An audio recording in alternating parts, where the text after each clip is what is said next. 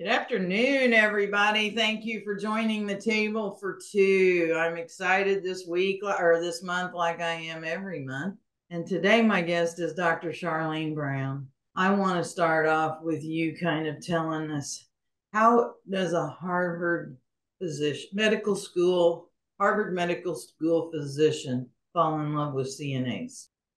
Tell us how this happened. How how did you become to be such a supporter of CNA education, development, and services support. How did I fall in love? All right, let's let's let's harken back to my love story. Um, I was raised by nurses, um, and there are plenty of CNAs in my family. So I think my affinity for nursing, nursing assistants, um, long-term care began as a child. My mom worked. My mom was a nurse in a in a nursing home. Um, and Still so I I learned early about the care of older adults and came to appreciate it early. Um, I grew up in New York. You know, if we like fast forward through my life, I've lived all over the country and I used to do work. Um, I don't know if you know this, Lori. I used to do work for USAID. It's like this federal government agency that does international development work.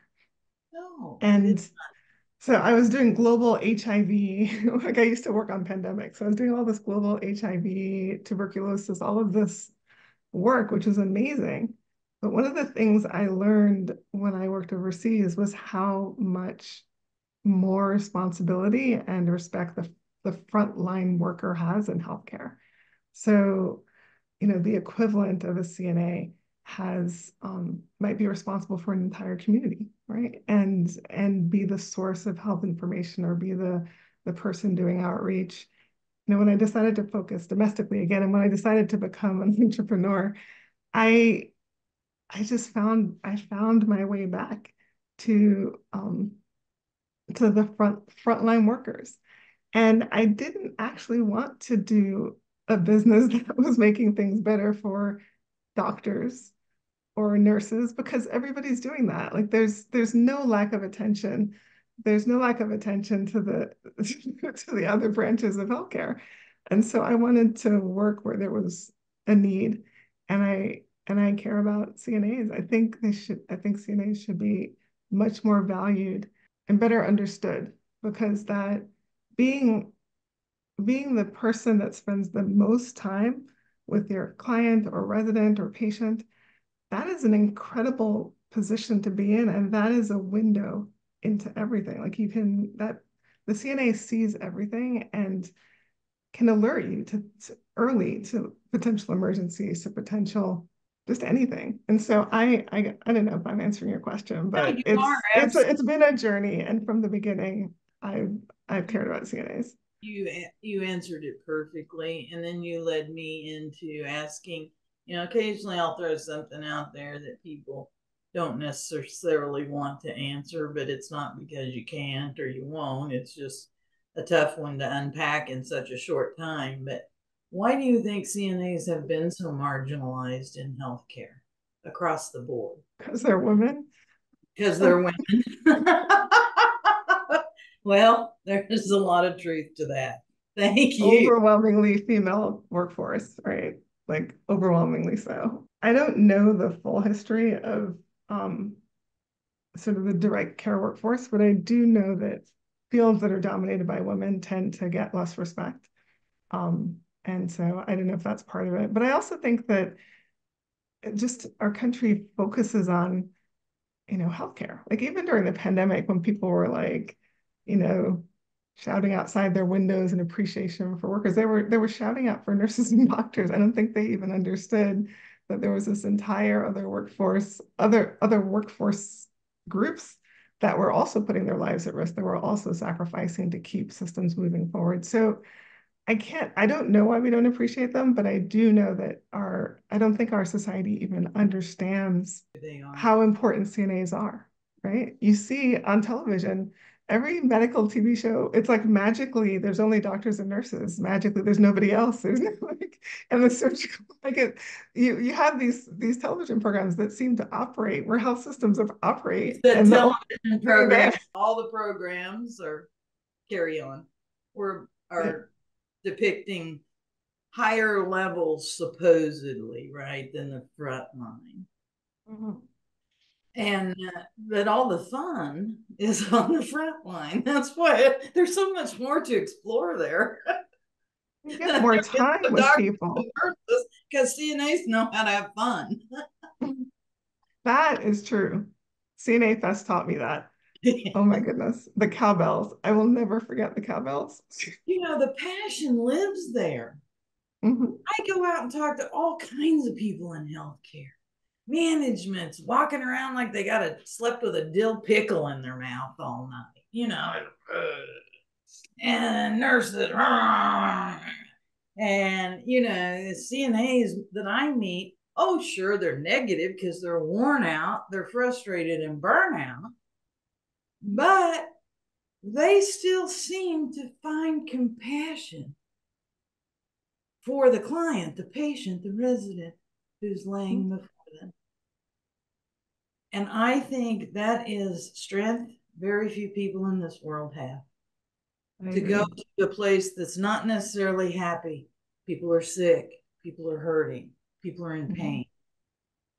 And then to just and, and have them in your hands, their life in your hands, has been un, underplayed people think they know CNAs, don't they, Charlene? I mean, would you agree? People think that in our world, anyway, right? You assume a nurse knows what a CNA is. You assume a doctor. Well, a lot of a lot of people like to speak for CNAs, right? a lot of speaking. a lot of people think they instead of letting them speak for themselves, right? Yeah, exactly.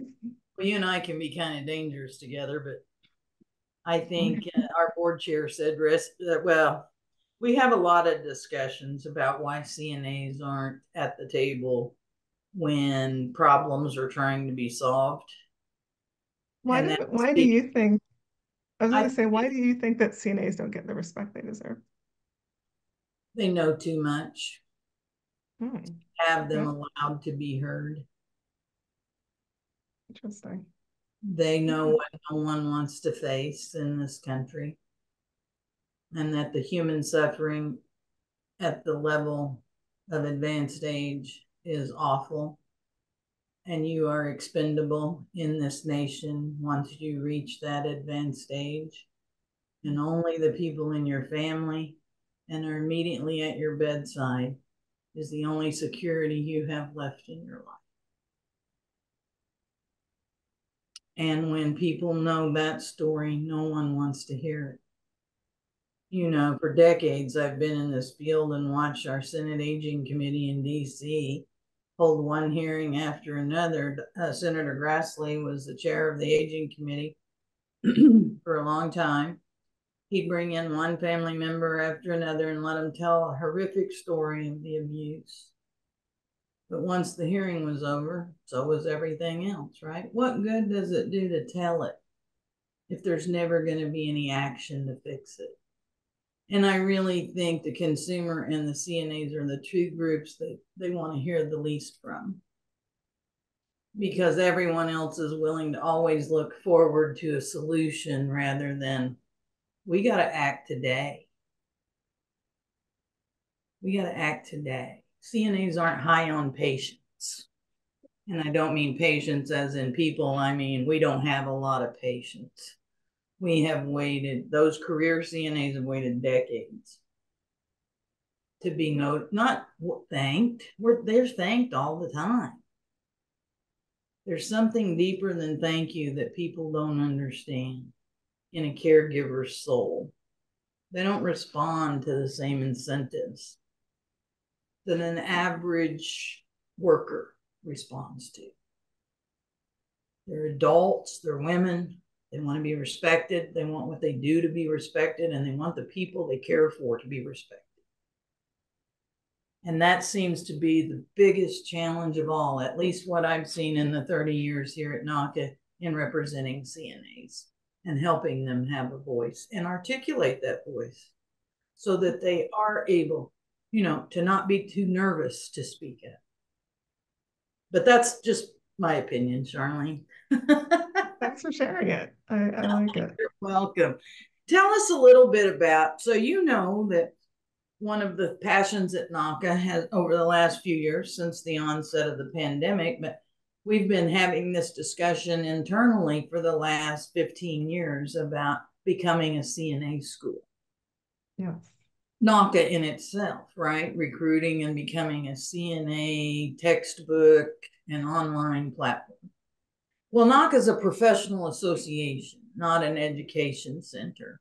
So we went to work building the platform you're aware of that we call the National Institute of CNA Excellence or NICE. And one of our biggest challenges is that how do we duplicate a lab online? Mm-hmm. And you've solved that problem. Tell us about, it. Yes. Tell us what what CNA simulations are, why it is, and where it's going in the future. Absolutely. Okay, so CNA simulations is about the exact problem you you described. During the pandemic, um, when facilities had to shut their doors to all trainees, like CNA students, um, nursing students, everybody, like they shut their doors to everybody. There was a whole industry already built with simulations for medical students, for surgical residents, for nursing students, but there was nothing, there was nothing out there that really focused on the clinical skills part of the education. So you can do didactics, you can do the classroom portion of CNA training from anywhere. You could do that remotely right now on Zoom. You could do it through some kind of um, you know, self-paced e-learning program. There are all kinds of ways to do that, but solving this problem of how do you teach the clinical skills that CNAs need to need to know, how do you do that virtually? And so we we went to work and started experimenting with different approaches. Um, and what we settled on was a story.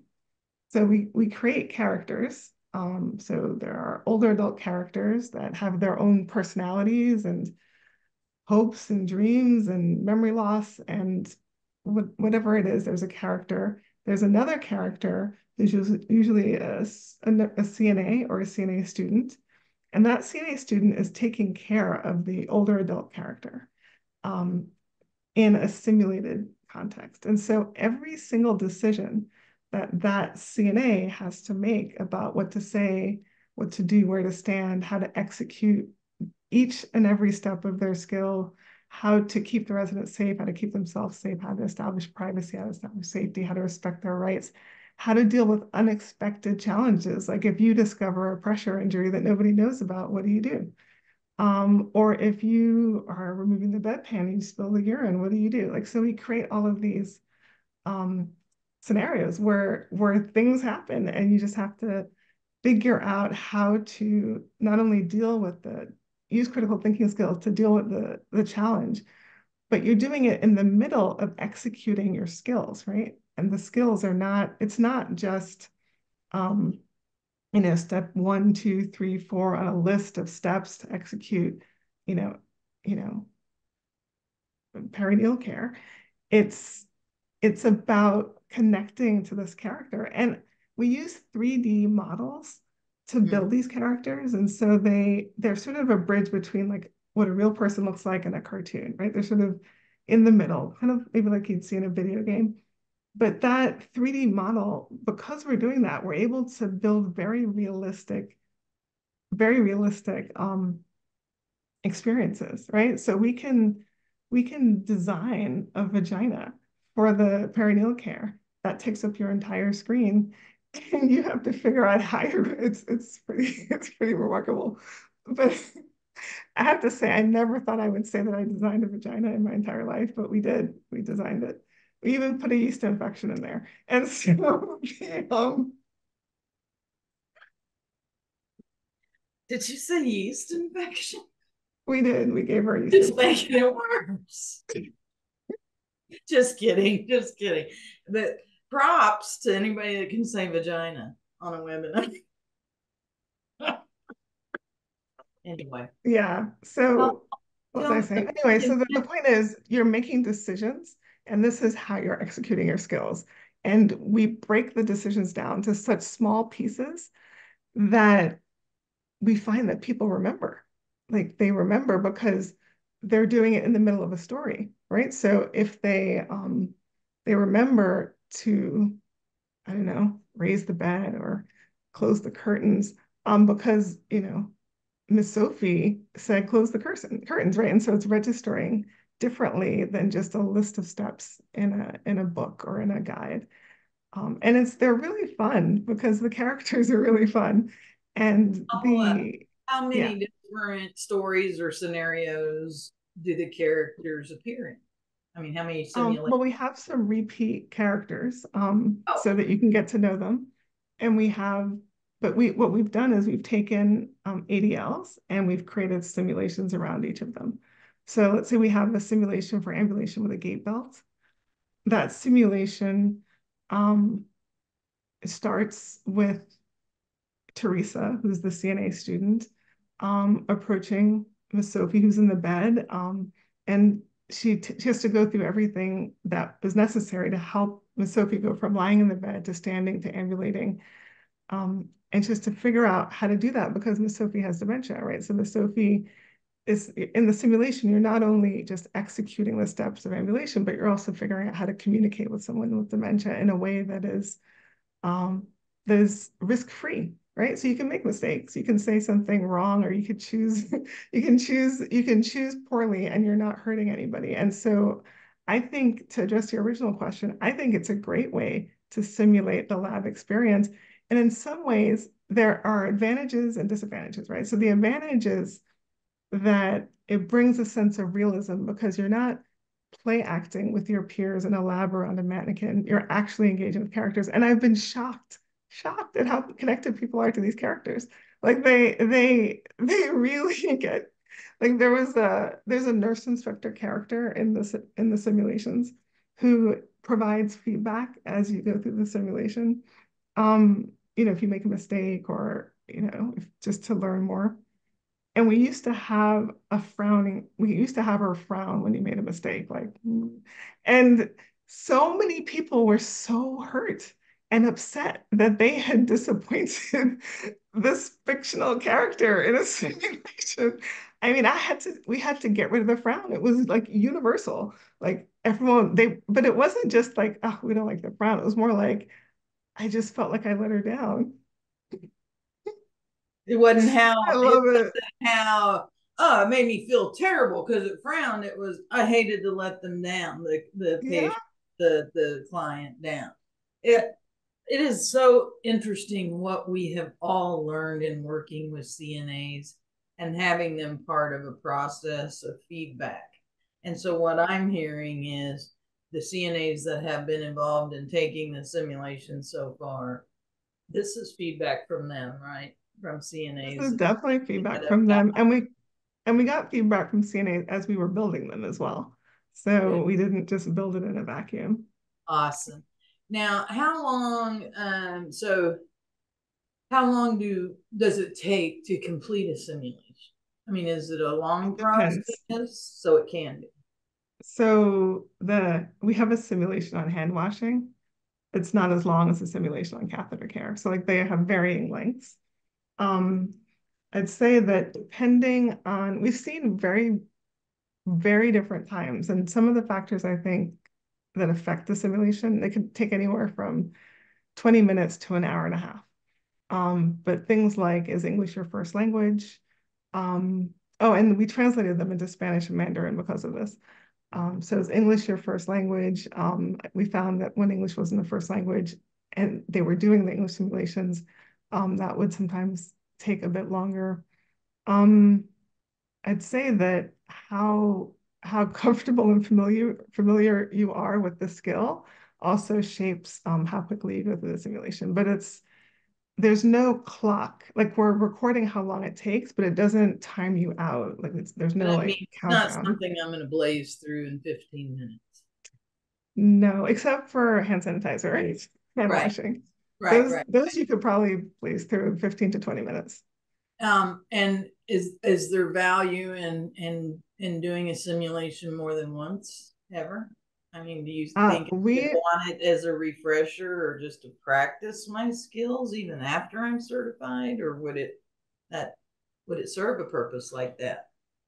I hope so. Um, it's definitely something that we found that some instructors, CNA instructors, will encourage their students to continue with as um, preparation for their clinical skills exam.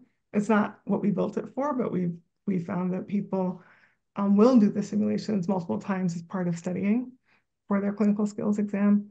Um, we offer unlimited access. So the schools that we do partner with, you like you can take it one, you can take a simulation once, you can take a simulation a thousand times. That's what I was Um, looking for. There's That is- no, there's no, there's no limits. The simulation lasts for as long as you're a student. Um, and in some cases beyond, because again, the instructors will, like, there's sometimes a gap between when you finish your classes and when you test. So Well, that's, When we have um, this in as part of the NICE curriculum, mhm, uh, uh, part of the reason for that is because NICE will soon be becoming a not only a, a, re, a recruitment and certification uh, institute, it will become a continuing education institute as well of best practices and, mhm. and all of these type things. So that's why I had an interest in the answer to that question because I see that people would enjoy that even after certification. We're planning to apply, we're working in California now under a grant, and we're planning to apply to the state to see if our students can qualify for continuing education units as well. So I'll keep you posted. Well, um, uh, we haven't talked a lot about it, but we've been asked by a couple of different government agencies to become the certifying, the credentialing uh, board for CNA education. That's And wonderful. so we are moving in that direction to get that so that anyone that creates content can get the, you know, if it passes the editorial, you know, education, credentialing piece, it's a stamp of approval.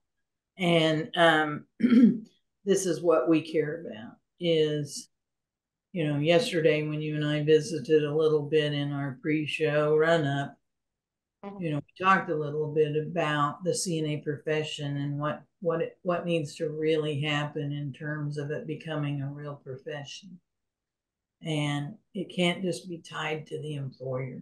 Nurses aren't tied to employers. Doctors, they're employed, Mhm. but their profession isn't tied to the employer.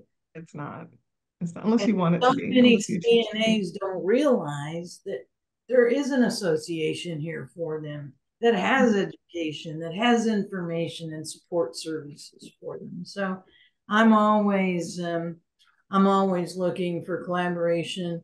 And Dr. Brown, I have to tell you, you've been so kind to NAHCA through the last few years. And I can't, I was thinking a little bit ago, how did I, how did we meet? I do think our chief operating officer introduced us, if I'm not mistaken, Matt Cantrell. Did you meet him first? Um, no, I actually met Meg. Um, and I Meg, think Meg Meg, Before introduced Yeah. you to I'd heard of, I knew about NAHCA, like I'd seen it, I read about it. And I, I think I was saying to her, yeah, I need to get in touch with these people at NAHCA. Like, Yeah. what is, you know, and I had no idea that she was already connected to Oh, NAHCA. So I think she wrote an intro um, email. Um, once I was connected, I did meet with Matt several times. Like he met up, I think he was in Detroit.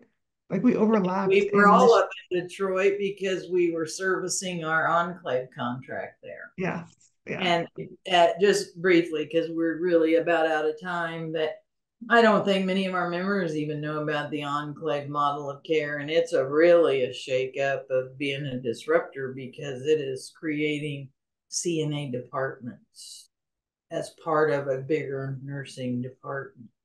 But it mm-hmm. allows CNAs to lead their own show, their own department, and have goals It's one of the things I never understood in the seven years I was a CNA is how come nothing we do counts? There's no data, there's no metric, there's no scorecard. Mhm. How do I know if I'm doing a good job or a bad job? Half the time you didn't get an employee evaluation for a year or two, so you didn't have any feedback at all. The only way a CNA knows if they're doing a good job or a bad job is whether the residents or the families recognize them. Mhm. Right? Mhm. And so, you know, that is uh, it, it it's just something that I don't understand. It needs to be a profession. It deserves to be one, and it deserves to be lifted up in this country as one to be respected and admired. But what we find is so many people just assume a CNA wants to be a nurse. Yeah. And they're trying to prove that nope, CNA can be a career all in itself. We actually have that in a simulation where um we have like I think the the the resident like keeps mistaking her for a nurse and says, "Do you want to be a nurse?" And she's like, "No." Can you're gonna have to show these to me, Charlene, or let me have mm-hmm. kind of demo sneak peek because now I'm more excited than ever. We have a few minutes left, and I forgot to tell people if they had any questions for you to throw them in the chat. But I see there's 26 communications in the chat now. oh wow! It could be say everybody saying hello to one another. I don't know, but I'm going to yield to Dane Henning, our moderator today, or our mm-hmm. Zoom master today, to see if any of those are questions that we need to to address here? Uh, n- no questions, uh, Lori and Charlene, but there are a lot of um, comments of uh, affirmation, really, um, about the concept. Um, Lori, um, somebody had mentioned that when you were talking about the reason why you know CNAs don't get any respect. In your opinion, it was like uh, Lisa said, uh, uh, "Damn, Lori, tell it." uh, to be to quote her there, um, and then uh, a lot of people was really um, loving the idea of um, uh, the concept of Charlene's um, uh, simulations and things of that nature. Um, so yeah, um, really, really just a bunch of positive comments. Really, no questions. So uh, I guess you guys can just keep on going. That's the way we like Thank it, you. man. People are just excited, and Um, so there'll be more to come. You, this is not our last visit with Dr. Brown, nor the last you'll hear of CNA simulations. I will say mm-hmm. that. And so, um, with all of that, Dr. Brown, and I can't help but call you Dr. Brown, no matter how many times you've told me Charlene. Yeah, and I've told you many times. You've told me many times. Mm-hmm. But it makes me feel better knowing I got a doctor that cares about what we do. And it means a lot to our members too. Thank you very much for giving us your time today. And I look forward to the future and what's to come. Thank you work. so much for having me. And I am a forever fan of NAHCA and NICE and all of the advocacy and support and, you know, just just recognition that you offer to the CNA profession nationwide. So keep doing what you're doing and have a great rest of your day. It was nice to meet all of you. Thank you, Sterling. Talk soon. Bye-bye. Bye, everybody. Thank you for joining us today, and I'll see you next month.